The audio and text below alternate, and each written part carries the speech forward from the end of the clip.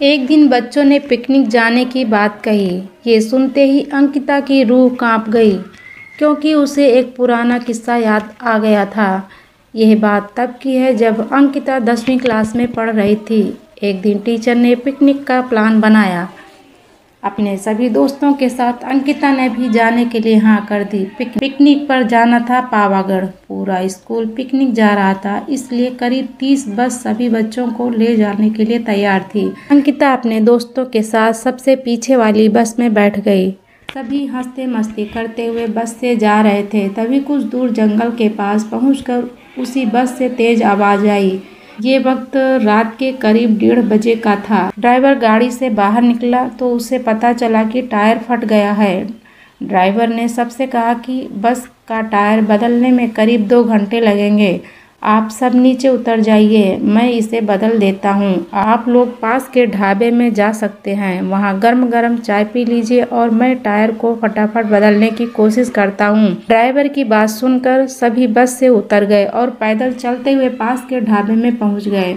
वहाँ एक बूढ़ा व्यक्ति चाय बना रहा था। इतनी रात को ढाबा खुला हुआ और किसी इंसान को चाय बनाते देख देख सबको हैरानी हुई। उस बूढ़े इंसान ने कहा, आप सब चाय पी लीजिए। यहाँ अक्सर लोगों की गाड़ी खराब हो जाती है, इसलिए मैं भी अपना ढाबा हरदम खुला रखता हूँ। आप जैसे राहगीरों को मदद हो जाती है। उनकी बात सुनकर सबने चाय का ऑर्डर दे दिया। उन्होंने कुछ ही देर में सबके लिए चाय बनाकर मेज पर रख दिया। चाय पीते हुए अंकिता की आँखें एकदम ढाबे की छत की तरफ़ गई। हाँ अंकिता ने एक औरत को सफ़ेद रंग की साड़ी में खुले बाल लहराते हुए देखा। कुछ देर बाद वो ज़ोर ज़ोर से हंसने लगी। भले ही हंसने की आवाज़ किसी को सुनाई नहीं दे रही थी, लेकिन अंकिता ने उसे मुँह खोलकर हँसते हुए देखा था।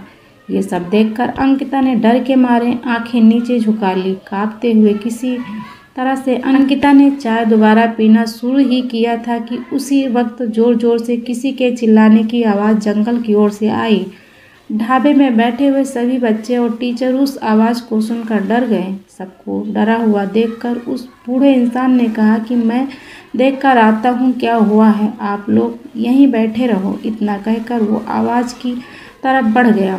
तभी एक लड़की को खून की उल्टी लगातार होने लगी। उसको देखकर सबकी हालत और ख़राब हो गई। उसी समय एक टीचर ने कहा कि तुम सब आग जलाओ और उसके बगल में बैठ जाओ। सबने मिलकर आग जलाई और गोल घेरा करके बैठ गए। टीचर ने सख्त लहजे में सबसे कह दिया कि अकेले कोई कहीं नहीं जाएगा। वैसे भी सब इतना डरे हुए थे कि अकेले कहीं जाने की हिम्मत नहीं हो रही थी।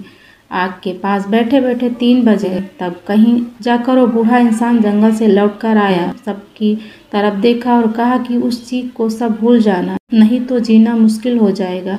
इतना कहकर वो ढाबे के अंदर चला गया। तभी ड्राइवर भी टायर बदलकर बस लेकर ढाबे के पास पहुँचा।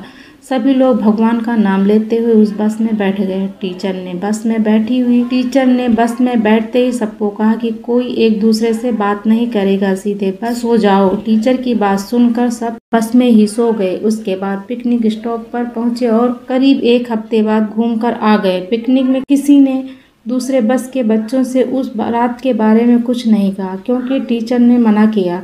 लेकिन पिकनिक से लौटते ही सबने अपने दोस्तों और दूसरी क्लास वालों के इस भूतिया घटना के बारे में बताया। आज पिकनिक का नाम सुनते ही यही भूतिया ढाबे की कहानी अंकिता के मन में आ गई और बच्चों को पिकनिक भेजने से डर लगने लगा। बीती घटनाओं को भूल जाना ही अच्छा है, नहीं तो जीवन भर घटना डराती रहती है।